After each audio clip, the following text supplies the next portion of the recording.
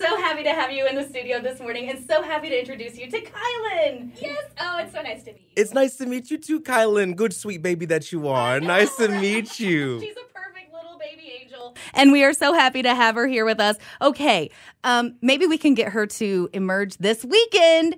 March 11th. Is this would this be your first wrestling show ever? It would be. you should come because you know what? You could be my plus one. oh, There you could be go. Plus one. I'll let I'll let them know at the door. Like let her in, all right? Because it's um Emerge 67 out of luck March 11th this Saturday. And speaking of out of luck. Out of luck is what Brutus Atwell is. Ooh. This snaggletooth gator boy from the swamplands that I have to take on. I'm gonna tear his beard off and Oh, make no. it just one really long mustache, swing him around by it, and send him sky high my money's on that, all right? Yeah, I'm, I'm not writing them a, a check that my, my body can't cash. I promise you, All it's right. gonna happen. Okay, Kylan, see? The you gotta confidence. go. Yeah, definitely got the confidence. Um, I don't know. He's from the swamps and he has a beard. He might be my type. You might be. All right. So how can we get tickets? Um, doors open at six and the bell rings at seven. March 11th.